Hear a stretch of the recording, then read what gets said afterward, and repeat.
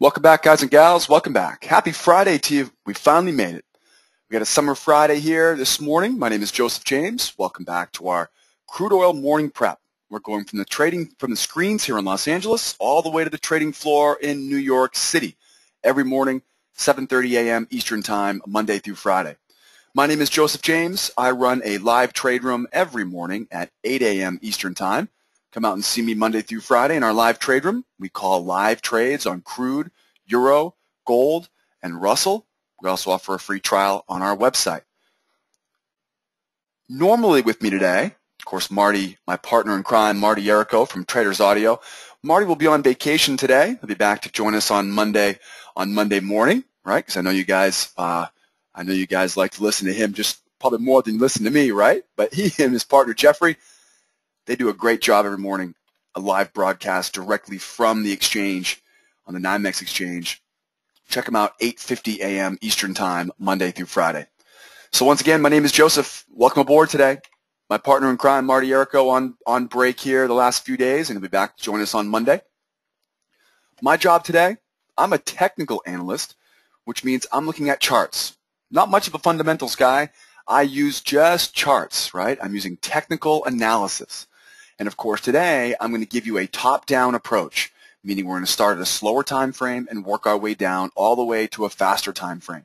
Specifically, I'm going to analyze what's happened the past few weeks, the past few days, the past few hours, and of course, specifically analyzing what's happened in the overnight trading session, right? The London trading session.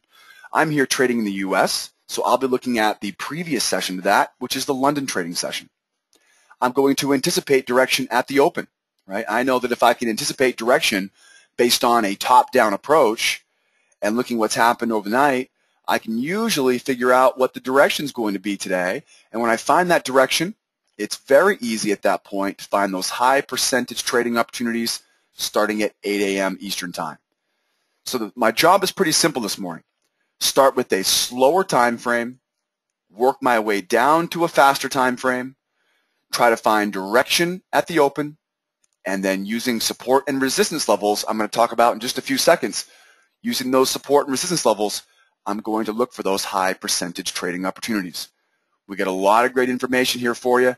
And again, normally Monday through Friday, I'll have my partner here with me, Marty Yerrico, and normally he'll be talking about his pit analysis, of course, market direction, intermarket divergence, market internals, option prices, and those very important pit session trading levels. So check back with us on Monday morning at 7:30, and we'll have we'll welcome Marty back to back to the uh, trading floor.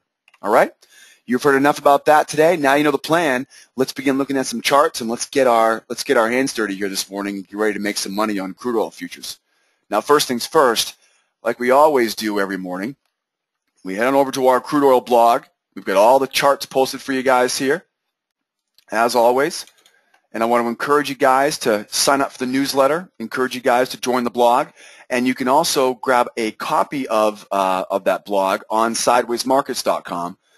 You can see there is a section called the crude oil squawk and prep. We've also got a morning prep page on the blog as well. You can see here we began speaking about the morning prep there.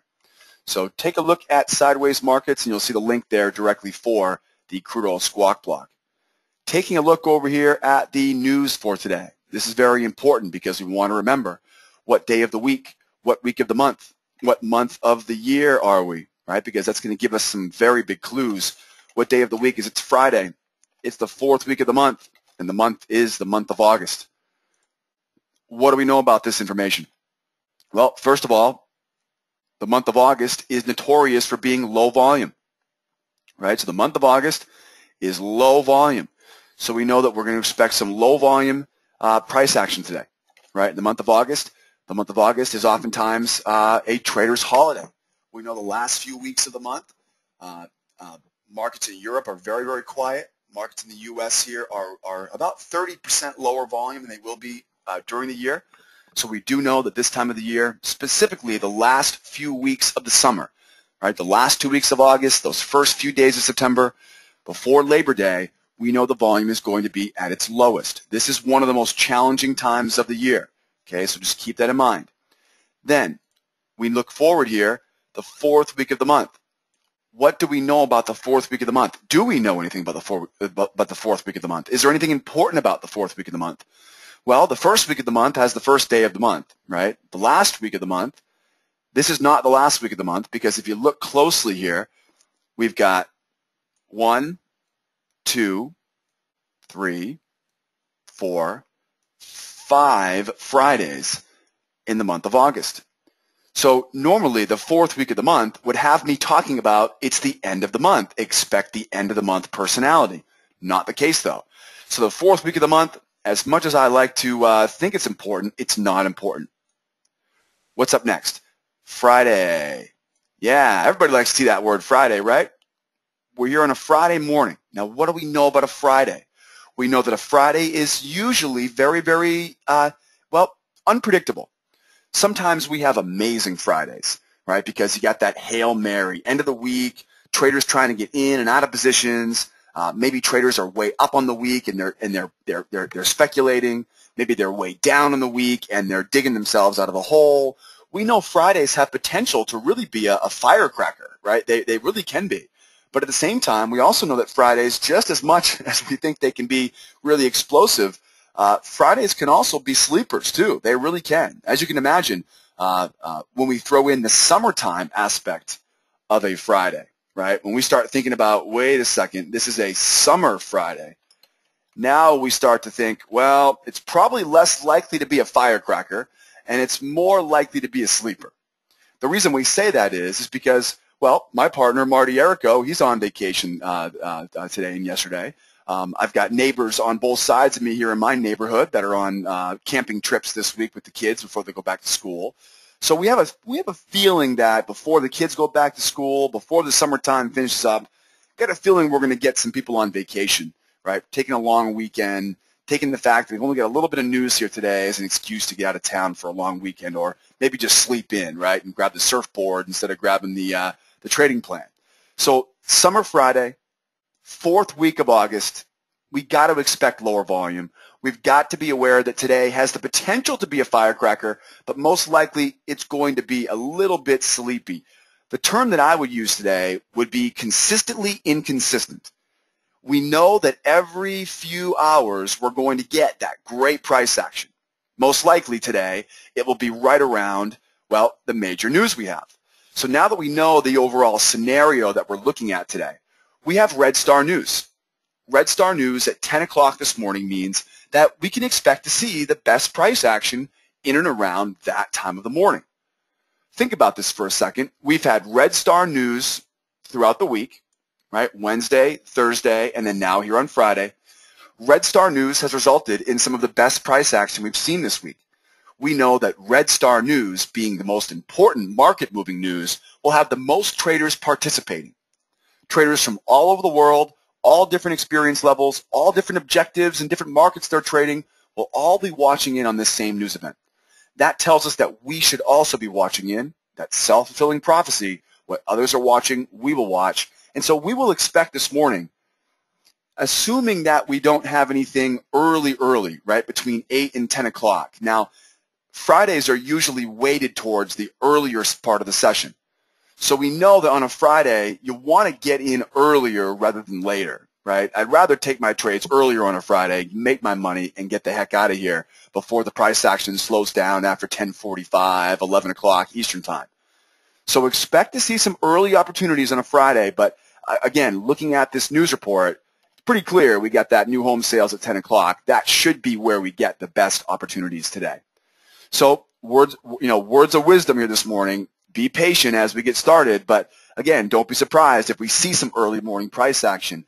And if I had to speculate today, which I'll just go ahead and do for you, if I had to speculate here, I would say about 10:45 a.m. today, we're probably going to start seeing these these markets really slow down. If it even goes that far, it may be 10:25, it may be 10:30. Um, we have to remember, summertime Friday, it's going to be in, it's going to be consistently inconsistent. And you know what's going to happen once this major news comes out. If it doesn't surprise anybody, traders will place their bets and then they'll hit the weekend. So just be aware, early morning price action, get in early, get out early. mark your mark your uh, alarm clock this morning, 10:45. I'll be watching it after 10:30, looking for that dead zone to step in, and we will expect to see price action slow down, probably pretty considerably after 10:30.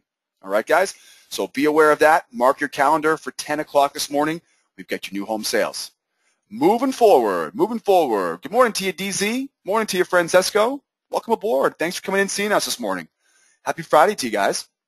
All right, back in the action here now. We got some charts to look at. Now that we know what the alarm clock will be for today, now take a look at this 30-minute VIP chart. Now, I like to use a 30-minute chart. This is one of the only time charts you'll see me using. And I like it because it gives me a little bit different look. It also gives me a chance to look at how time plays into this equation. It's really important because time is really important when it comes to trading, right? Elliott Wave saw it.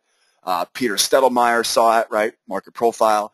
A uh, lot of lot of trading theory uh, has has kind of uh, uh, confirmed for us the value of looking at time and price. So we look, we know that a time chart is of value. How long have we spent at this level, right? Not just what the price level is uh, at that time. The one thing that I see here, though, is is this looks very bullish. This looks very bullish right now. Now, I might be wrong, but at first glance, it looks pretty bullish. And I've got three reasons why it looks bullish. The first reason is, is I want to zoom all the way out real quick. Zoom all the way out in this chart. And this is one of the reasons why I use a 30 minute. It's easy to zoom out a few, a few, uh, a few weeks and see the big picture. See those trend lines that we drew here? Those trend lines on the 30 minute chart. Now again, you're going to have to zoom out here for about a month of data there. That's all the way back to August 1st. So you've got these trend lines we've drawn, and that's created this wedge. Now, I normally don't use this chart for that type of analysis, but this was just kind of an easy one this morning. And so I zoom back in now, and now we can see here, there's the top of that, of that wedge, right? There's the top of the wedge. So we can imagine now, most likely what's happening is, is that price is going to rotate off the lows, the second clue that I see is the previous high of day, 105.43. This previous high of day is really important, right? That previous high of day. If we get above the previous high of day, well, we have a wide open space here now all the way up to 106.97.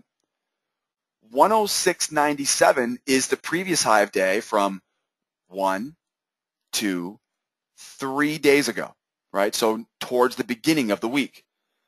Remember, towards the end of the week, we tend to gravitate towards major price levels that we already have seen that week. Previous week's highs and lows, previous day's highs and previous day's lows. We know right away that there's a good chance that price action can go from the bottom all the way to the top of this wedge. That was the first clue. The second clue is, is that with the previous high of day at 105.43, members, you guys know this, above that previous high of day, right, we consider this to be bullish, and we are now buying all the way up. And we'll keep buying all the way up to that 106.97. We will buy pullbacks using our wave patterns as much as we'll get the opportunity to do so. The third clue that we see here is, is the trend line, right? This little trend line here, now this trend line was actually a really good example of how you can cheat a little bit and you can use the candlestick bodies as long as they line up with other candlestick or swing lows on the chart, right? If you, if you zoom in on this on this uh, 30 minute, you'll notice that I, I cheated a little bit here.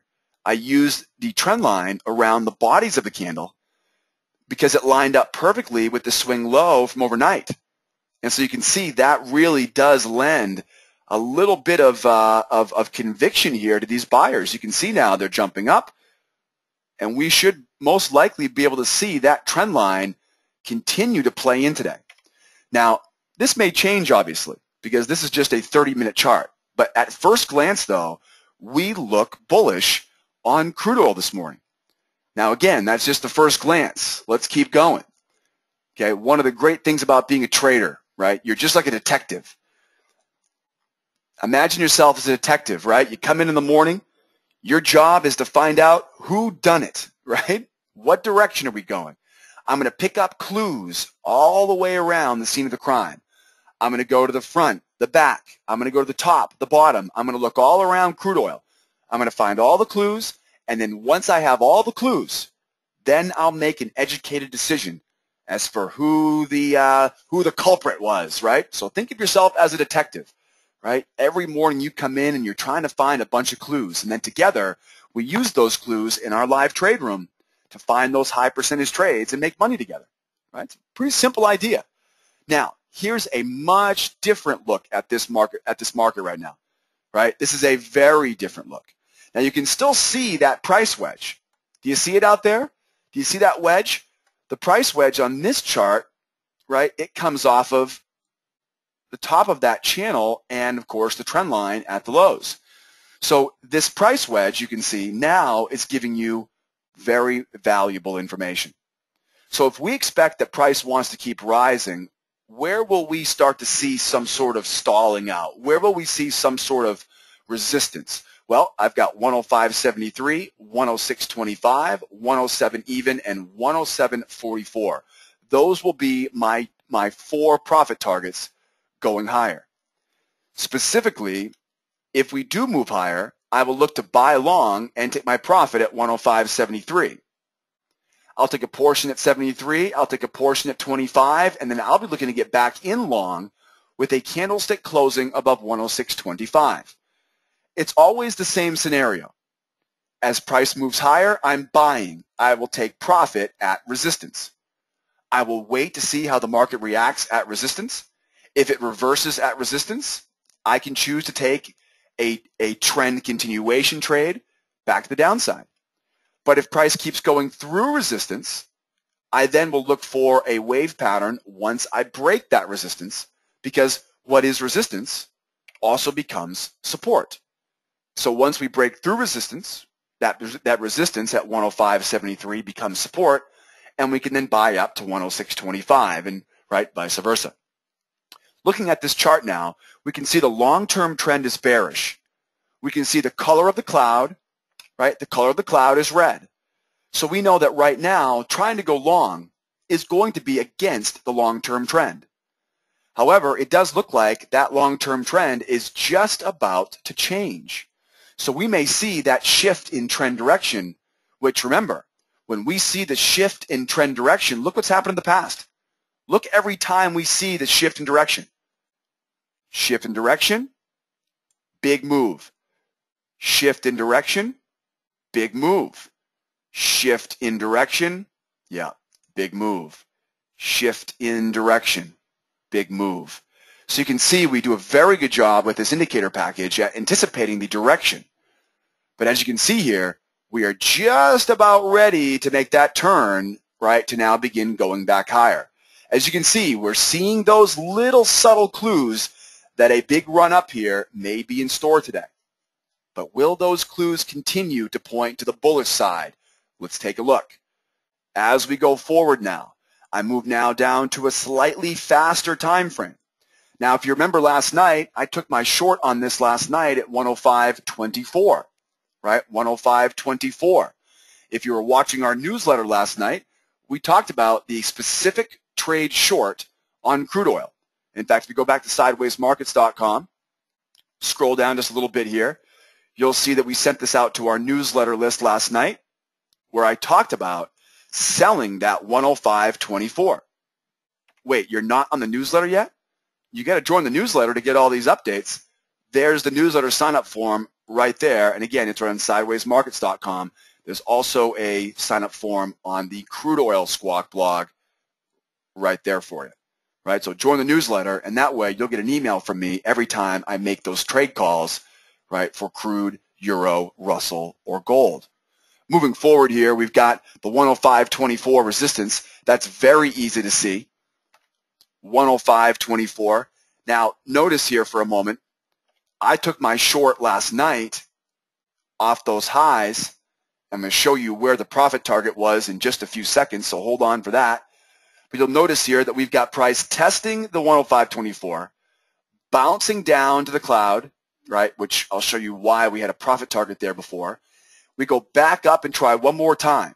That second attempt, remember, if they, if they fail to go lower, that's their cue now to start going higher. Okay, remember that double top, right?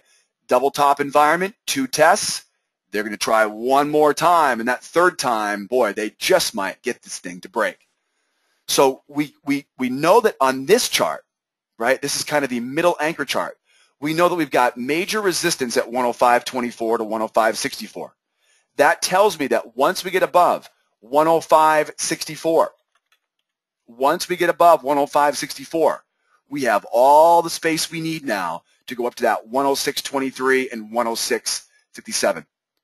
So in the short term, in the short term, we have to be very, very careful. If we do believe this price wants to go higher, we're going to have to wait to see really clear proof of that because we're sitting right at resistance.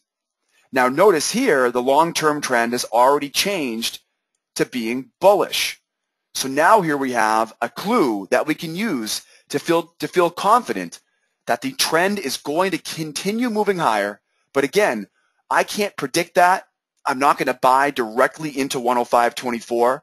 The 30-minute chart, the major anchor charts, all of them are telling us we will probably try to go higher today. But again, it's a summertime Friday. I haven't seen what the actual personality is going to look like as we open here in the U.S. We know one thing's for sure. If the price collapses and goes lower, I will be selling short, right? I will be selling short. There's no doubt about that. But again, if the price stalls out going lower and we start seeing those buyers start to poke away at the highs, we know this is coming, right? Don't, don't say I didn't warn you. So keep an eye on those sellers. If those sellers start to fail, if we start seeing some whippy price action, if we start reading tape, if we start using our wave patterns and they fail on us, it's going to be a good sign of that reversal and that price getting sucked right back higher. So I'm going to definitely be looking out for this bounce once, twice, and then whoop, right back up. But at the same time, I will be looking to sell short if these sellers do come back to us again this morning. Now, I talked about the short last night. And you may have been wondering, well, where do we take profit on this? Right? Where do we take profit? Well, here's a bull channel we find on our entry chart time frames. Members, you guys know we use this very frequently in our in our uh, live trade room. And of course, we've we've located trigger zone number 1 and trigger zone number 2.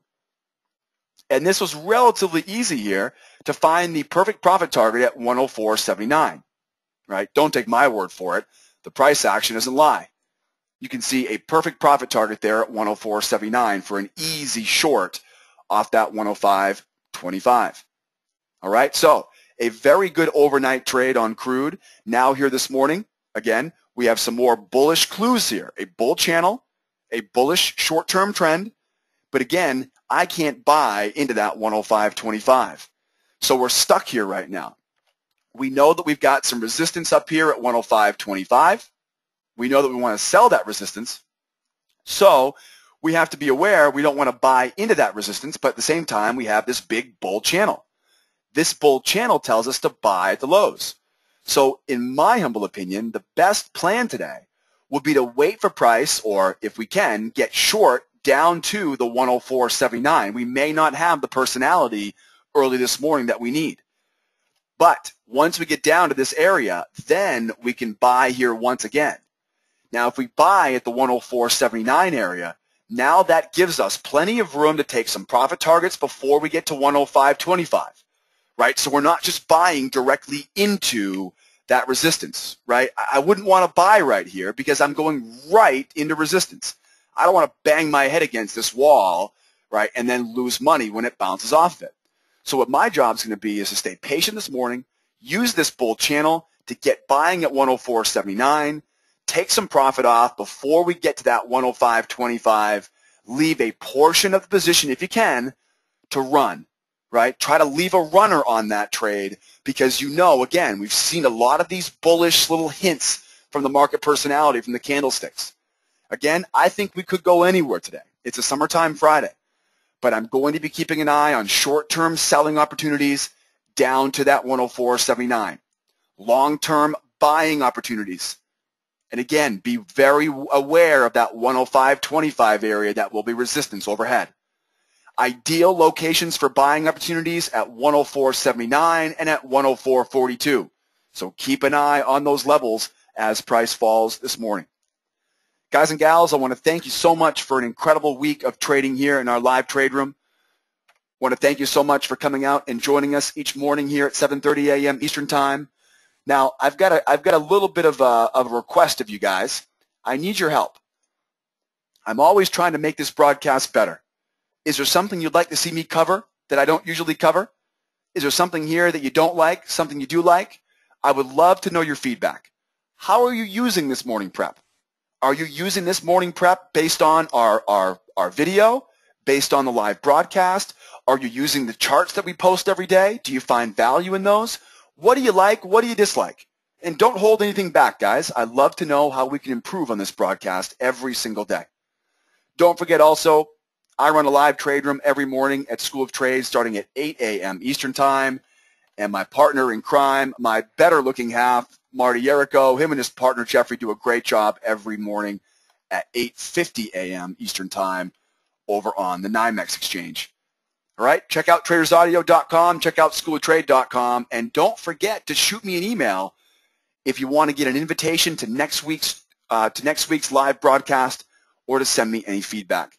From the entire team here in Los Angeles, signing off for now. Have a great summertime Friday. Be careful out there. Don't forget to have a wonderful weekend. We've only got a few weekends in the summertime left here before we go into the fall. I'm excited to see you guys in the trade room today. Have a wonderful day out there. Keep in touch. Adios, amigos. Bye-bye for now.